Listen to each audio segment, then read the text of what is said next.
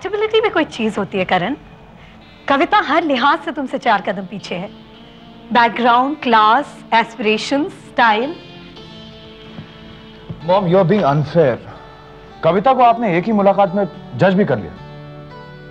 I know her mom she she is a wonderful girl और जहाँ तक aspirations का सवाल है हम दोनों की एस्पिरेशंस एक ही हैं। अच्छा? और वो क्या है? Each other Karan get out of this emotional floss तुम तो बिल्कुल ऐसी सेंटिमेंटल बातें कर रहे हो जैसे एक मिडिल क्लास यंगस्टर करता है। दादी माँ के साय में तुम भी ऐसी बातें करने लगे। और हाँ तुम्हारी दादी माँ है कहाँ? मैंने आपको बोला था ना mom she is not feeling too well I forced her to rest मैंने कहा कि मैं मॉम को लेके आता हूँ। रमेश बड़ी माँ उठ गई क्या? नहीं साहब। Karan you got to be practical तुम्हें अपने करियर अपने फ्यूचर के बारे में सोचना है। मॉम आप कुछ भूल नहीं रही। दादी माँ भी आपके खिलाफ थी ना? और डैड तो आपके लिए अपना घर छोड़ने को तैयार हो गए। Because he loved you and he believed in you thank God उन्होंने किसी प्रैक्टिकल बात को इंपॉर्टेंस नहीं दी आई रिस्पेक्ट योर फीलिंग्स पर तुम कविता को दिल से देख रहे हो और मैं दिमाग से। मॉम अब आप कविता को दिल की नज़र से देखना शुरू कर दीजिए, क्योंकि अब वो आपकी बहू बनने वाली है। करण, कैसे मैनेज करेगी वो तुम्हारे साथ? तुम दोनों की सिर्फ़ प्राइवेट लाइफ तो नहीं होगी ना? तुम्हारे डैड के इतने ऊँचे कॉन्टैक्ट्स हैं। Industrialists ambassadors they all classy rich and famous people और जब तुम अमेरिका आओगे तो नेचुरली तुम भी उन्हें ज्वाइन करोगे। मैं कब से सपना देख रही हूँ कि तुम हमारे साथ आके रहोगे। कविता तुम्हारी बिज़नेस में क्या हेल्प कर सकती है? वो तो यहाँ भी कुछ काम नहीं करती। करण, वो अमेरिका में रहने लायक नहीं है। मॉम, मैंने शायद पहले ऐसा सोचा था, लेकिन अब मैंने डिसाइड कर लिया मैं अमेरिका नहीं जाऊँगा। आप बहुत थके होंगे। हैव अ वार्म शावर मैं आपके लिए अपने हाथों से चाय बनाता हूँ। सारी थकान दूर हो जाएगी।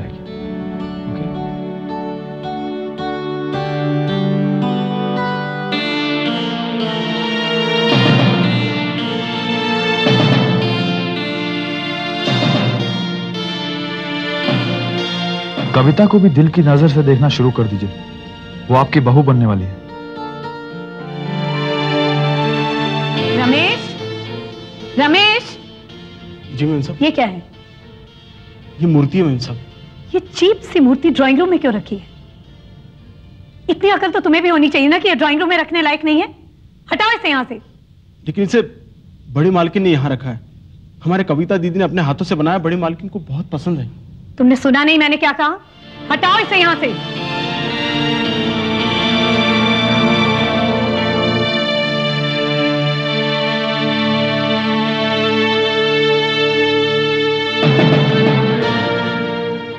इसे कहाँ ले जा रहे हो? जो बड़े मालकिन वो मालकिन ने कहा कि इसे ड्राइंग रूम में नहीं रखना। माल मालकिन। वापस रख दो इसे। खबरदार जो इस मूर्ति को कभी किसी ने हाथ लगाया ये यही रहेगी।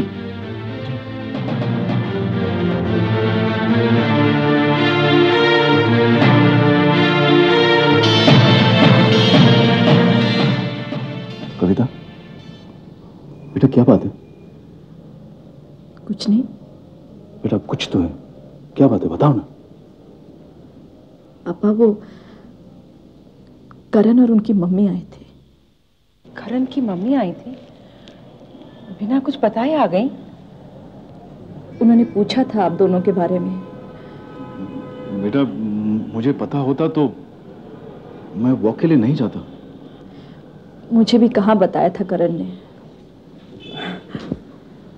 बेटा कैसी लगी तुम्हें करण की माँ?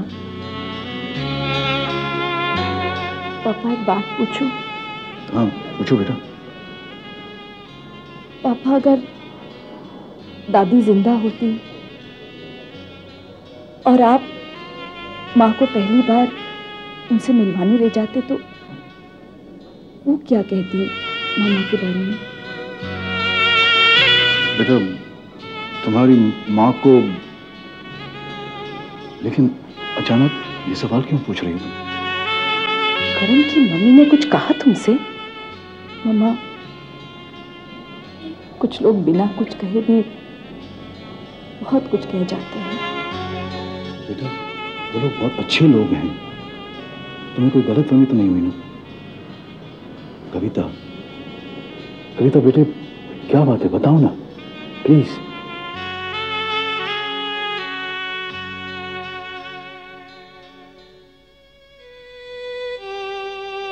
पापा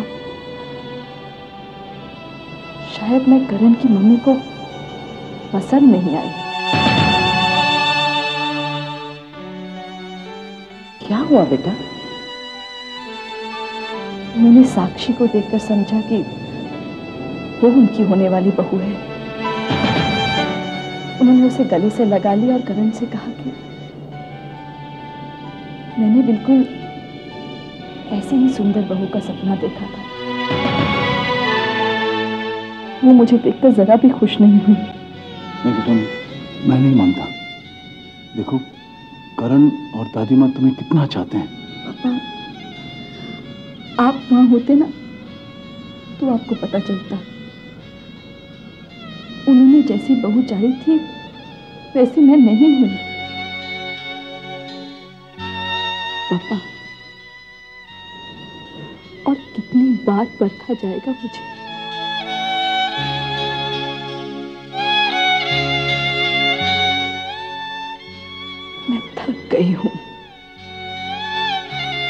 बेटा, वो जैसे भी बहुत चाहते हो, मेरी बेटी उससे कहीं ज़्यादा अच्छी है। करण तुम्हारे साथ है, तुम्हें चाहता है। एक औरत की सबसे बड़ी शक्ति उसके पति का प्यार, उसका सहारा है।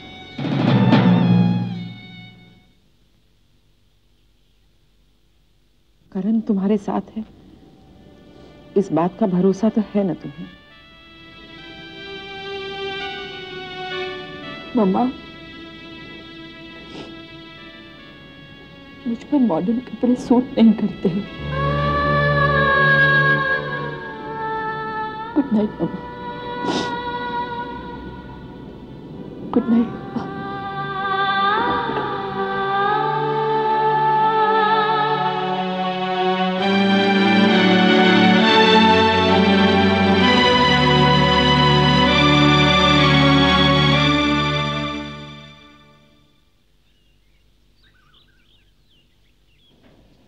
हम एक मिनट गौतम।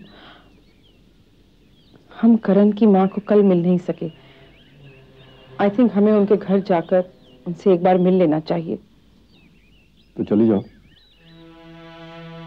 मैं अकेली जाती ठीक नहीं लगूँगी। आप भी चलिए ना प्लीज़ उन्हें लोड़ी पर बुलाना है। इस घर में ये कविता की आखिरी लोड़ी है। मैं मैं उन्हें फ़ोन कर लूँगा। प्लीज़ रक्षा अगर आप भी एक बार करण की माँ से मिल लेते तो अच्छा होता। कविता की शादी की तारीख भी निकलवानी है। आपका होना बहुत ज़रूरी है। मैं अकेली जाती अच्छी लगूँगी क्या? अब हर काम हम साथ में तो नहीं कर सकते ना। मैं बहुत बिज़ी हूँ तुम चली जाओ। अगर हम दोनों उन्हें इनवाइट करने नहीं गए तो वो बुरा मान जाएँगे गौतम। सिर्फ़ एक घंटा लगेगा।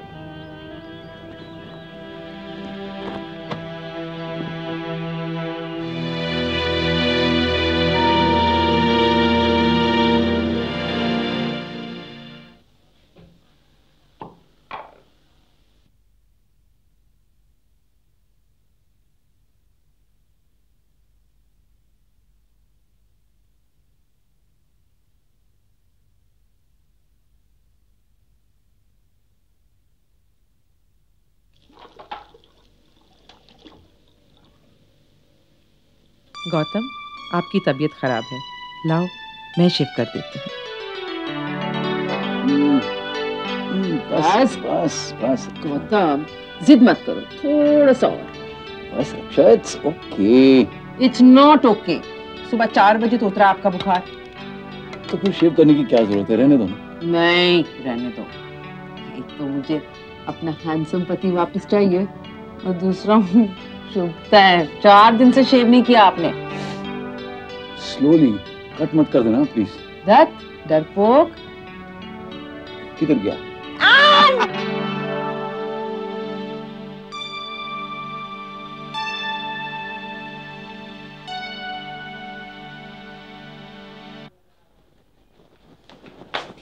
क्या हुआ पापा?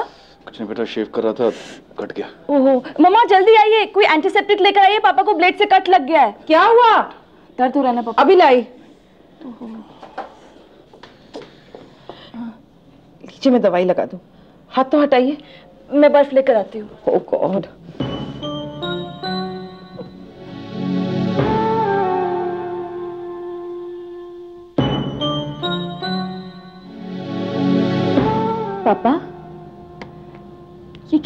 चल क्या रहा है आप दोनों के बीच?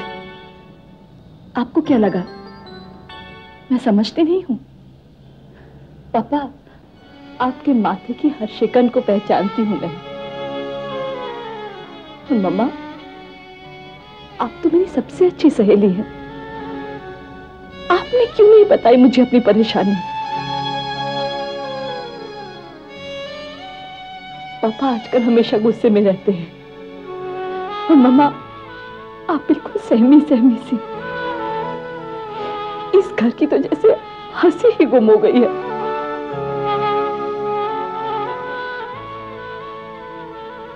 आप लोग कहीं करण की मम्मी को लेकर तो परेशान नहीं है?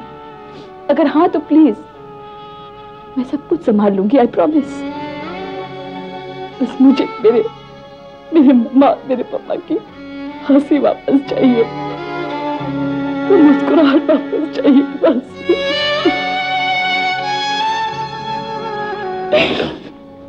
रोते नहीं। बात कुछ भी नहीं थी और तुमने बेटा, मैं तो बस शेव कर रहा था। ये सोचकर कि तुम्हारा हैंडसम पापा तुम्हारी मामा को लेकर करण के घर जाएँगे। एकदम सूटेड बूटेड और वहाँ उसकी वो फॉरेन रिटर्न माँ है ना, वो भी बस देखती रह जाएगी। उन सबको लोड़ी को इनवाइट कर लेना बेटा लेकिन देखो ना अब एक कट लग गया थोड़े नंबर तो कटेंगे.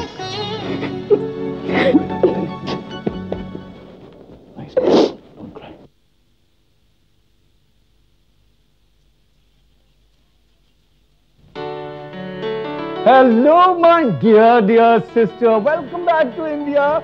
Come, come, come. Welcome वगैरह तो ठीक है तो मुझे एयरपोर्ट लेने क्यों नहीं आए oh, I'm really sorry, Roma.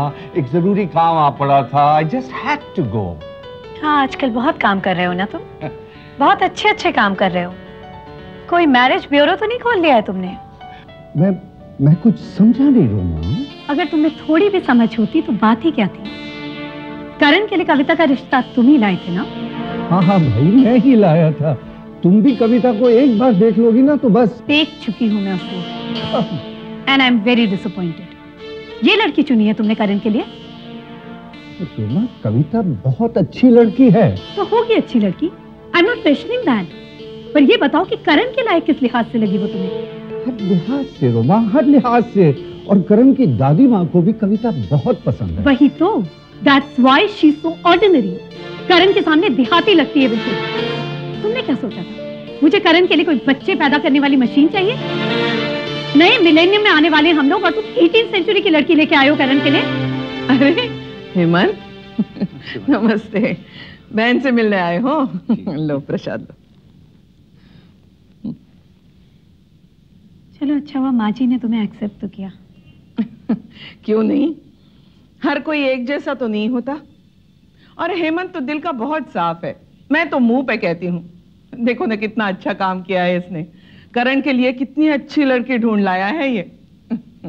Hemant, जरा मेहरा जी को फ़ोन करो। सगाई के बाद तीन महीने यूँ निकल जाएँगे। शादी की तारीख भी तो पक्की करनी है।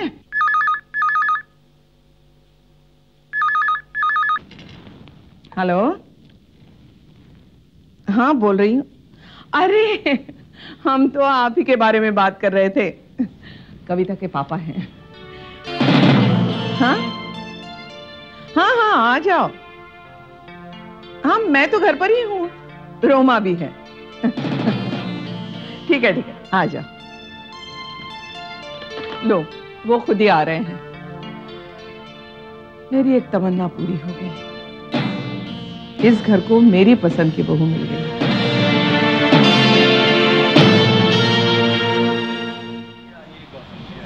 नमस्ते भाभी। Please welcome please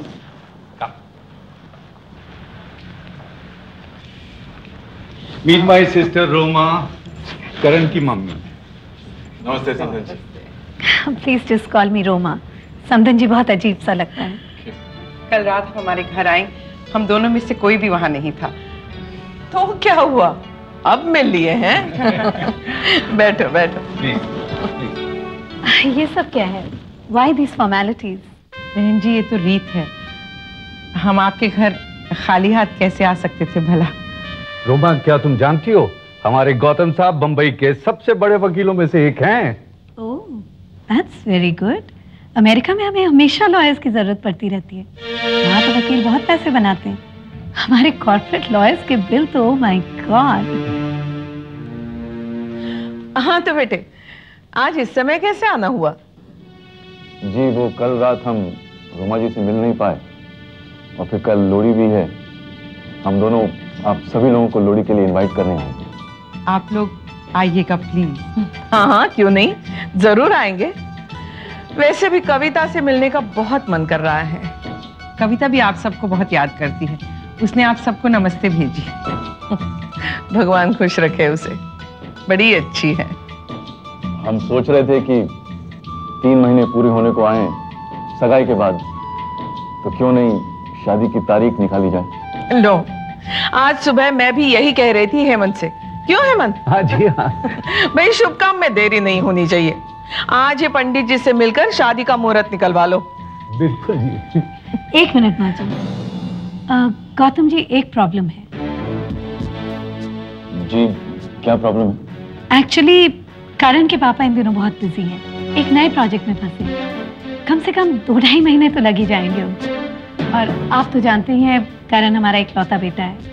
वो ज़रूर शादी में शामिल होना चाहेंगे।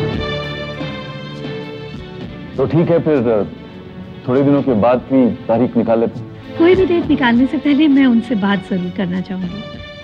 उनके प्रोजेक्ट में कितना टाइम लगेगा? एंड बिलीव मी इस प्रोजेक्ट में कम से कम दो ढाई महीने तो लग ही जाएँगे।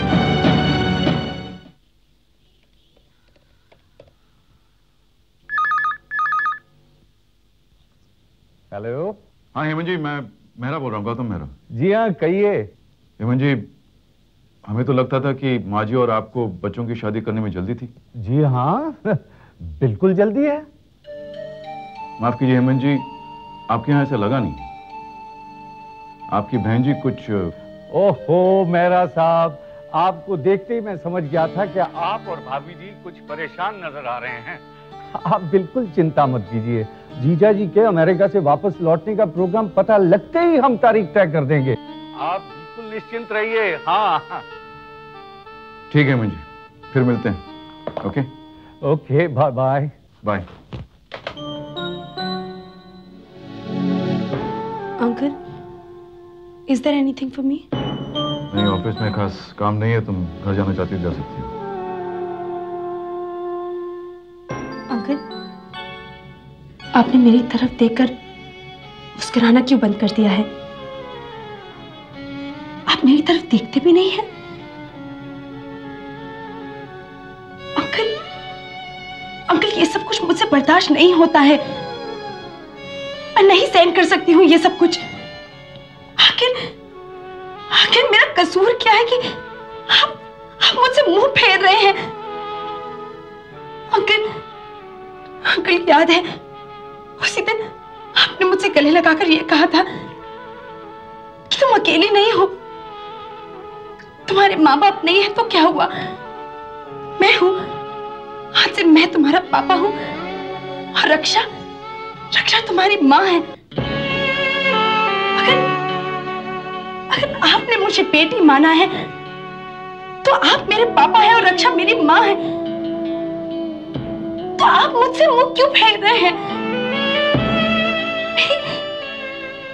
समझ में नहीं आता कि मेरा मेरा कसूर क्या है आखिर? अगर मैं नाजायज औलाद अनचाही औलाद हूँ, मेरी माँ ने मुझे पैदा होते ही छोड़ दिया। आप मुझे यहाँ लेकर आए, अपने घर पे रखा। बताइए, इसमें मेरा क्या कसूर है? आप मुझे क्यों सजा दे रहे हैं? अगर अगर आपकी बीवी मेरी माँ है तो मैं क्या करूँ? क्या करूँ मैं?